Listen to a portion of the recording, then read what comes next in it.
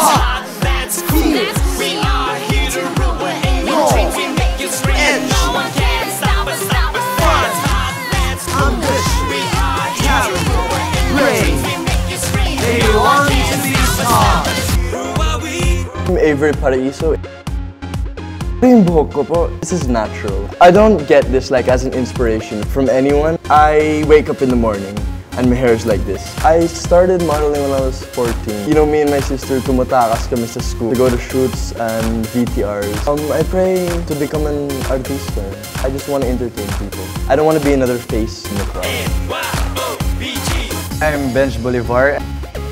I'm currently studying in UP Diliman, taking up Bachelor of Sports Science. Been into modeling for almost a year. I've decided na I want to take it to the next level. I have the discipline, I have the hunger.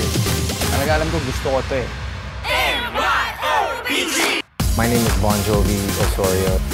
Yung Bon Jovi, my dad was a fan. I lived here in the Philippines for seven years and then lumipat kami sa States. Umuwi ako dito para ipag-pursue ko tong pag-artist. It's my passion, my drive, my heart. I know as long as my heart wants it, nothing's gonna stop me. Si Ian Patterson. I like my smile. It's got me to some places here to be part of Backroom. That's a big name to carry. Before, naglalaro lang ako eh. Like, ini-experiment ko lang kung ano bagay sa akin or how the industry works. Gusto ko talaga maging professional. And uh, I just want to have fun and I'm just so happy where I'm at. Hi, I'm Kirsa Chua. I just graduated from the University of Santo Tomas. I graduated cum laude because I really focus on my studies. Childhood dream ko is to be seen on TV. Gusto ko rin maka-inspire ng ibang tao, lalo na yung mga bata. I'm Mauro Lumba.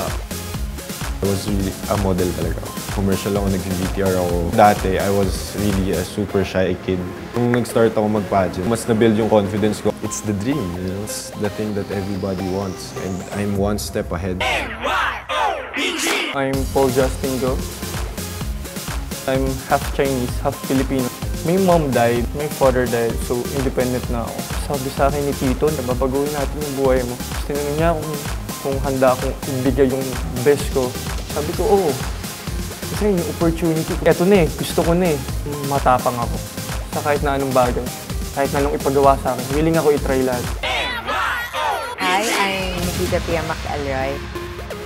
They say black is beautiful. Kaya naman, I'm proud to be beautiful. Kita mo na, I'm Nikita. I was born in Honolulu, Hawaii, but I grew up here in the Philippines, lalo na sa Davao. I do modeling.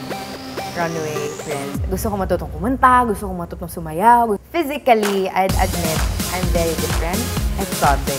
And that's what sets me apart from other people. Ugali, physical, emotional, spiritual. Ibang-iba ko.